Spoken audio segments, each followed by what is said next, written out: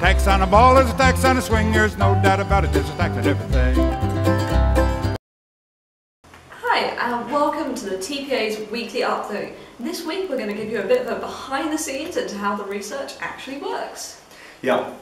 Broadly, the uh, research splits into two categories, transparency notes and statistical notes. Uh, in statistical notes, we try and use official sources because after all, we want to talk to the government, so we want to use really, really reliable uh, numbers. We use the Office for National Statistics a lot, the Health and Social Care Information Centre a lot, and basically um, we try and uh, produce notes that can tell you things that you wouldn't necessarily have known, like how much income uh, tax uh, certain groups pay, uh, or how much your total lifetime tax bill might be. And these are very different than the transparency notes that Jennifer is going to talk to you about.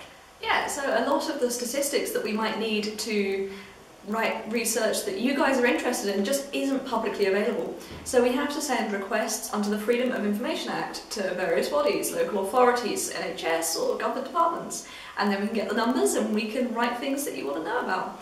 And we are we narrow down the question, we make sure we're asking for something very specific and we get the numbers we need.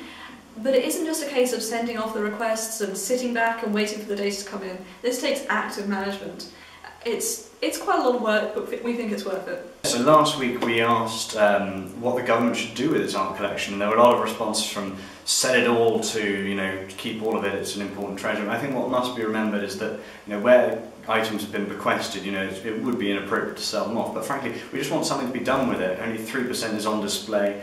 Um, and so perhaps there could be some sort of loan scheme or something like that. Was, I think that was suggested quite a lot as well.